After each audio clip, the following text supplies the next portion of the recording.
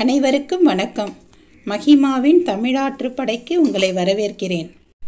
மணிவாசக பெருமான் அருளி செய்த திருவெம்பாவையின் இரண்டாவது பாடல். திருச்சிற்றம்பலம்.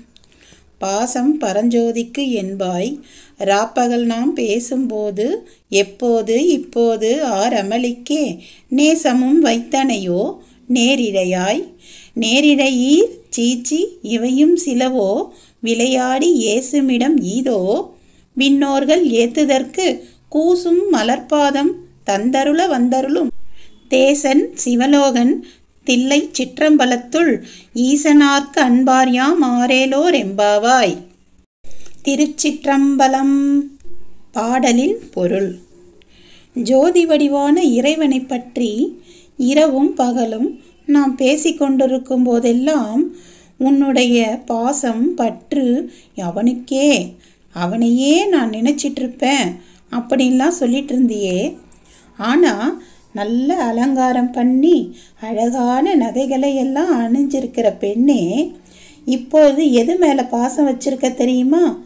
நல்ல மலர் தூவிய படுக்கையின் மேலே தான் உன்னுடைய பற்று வந்து விட்டது என்று உறங்கிய தோழியை எழுப்ப வந்த பெண்கள் இப்படி பாடியவுடன் உறங்கிக் கொண்டிருந்த அப்பெண் சுதாரித்து கொண்டு இப்படியே விட்டால் இவர்கள் நம்மை கேலி பேசிக்கொண்டே இருப்பார்கள் என்று எண்ணி அவள் திருப்பி வந்தவர்களையே கேள்வி கேட்க ஆரம்பிக்கிறாள்.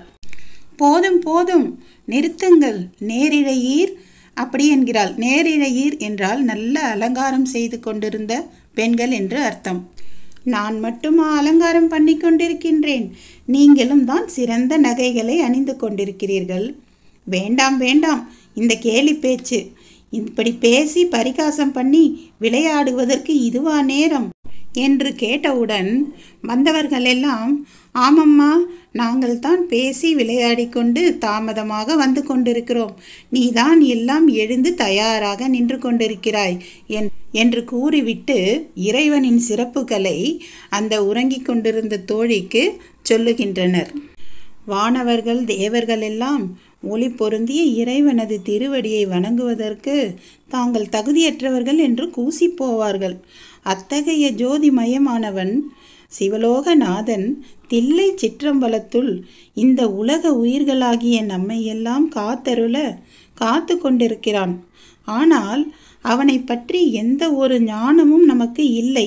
ஆனால் வெறும் அன்பு மட்டும்தான் இருக்கிறது. இந்த வெறும் அன்பு மட்டுமே இருக்கின்ற நாம் அவனை போற்றுவதற்கு உகந்தவர்கள்தானா? பாவை போன்ற அழகான தோழியே இதனை ஆராய்ந்து பார் என்று கூறுகின்றனர். இப்பாடலில் வருவது போலதான் இந்த ஆன்மாக்களும் இறைவனை பற்றி ஆஹா ஓஹோ என்று பேசுவார்கள்.